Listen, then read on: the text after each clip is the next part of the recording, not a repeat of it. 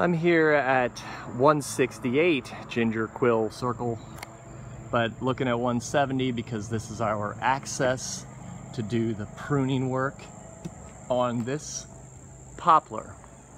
The idea behind this pruning is to remove only dead branches or any structurally unstable branches in this tree, as well as, while we're up there, testing this sourwood that leans so hard.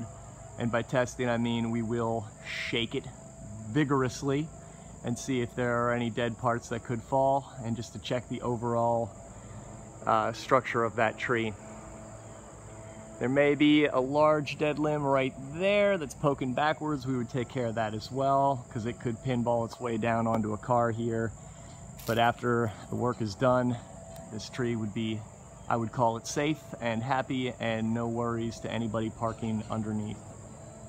Also included in this bid uh, will be, I will include a picture of the branch on the black gum, formerly known as the mountain ash behind the house. Just one limb that needs to be removed.